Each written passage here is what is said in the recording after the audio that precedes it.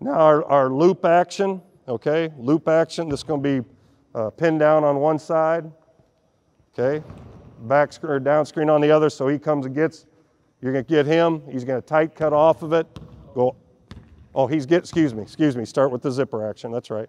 So he's dribbling over, we're starting with the zipper action. Okay, first look is his own play. He's going there, sprinting up, look to the big.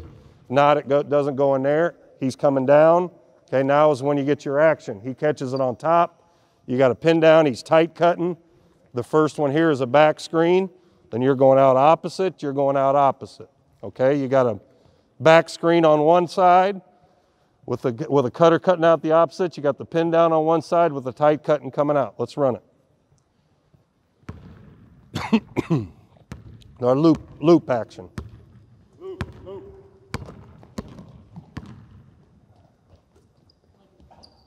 Boom, coming out the opposite side. Again, you're looking. Get off the top, Jared. High low action. Okay. We really like the high low action uh, early in our offense, off of sets, off of the early offenses, and then you're, you're right into your four out your spacing and all that stuff. Okay.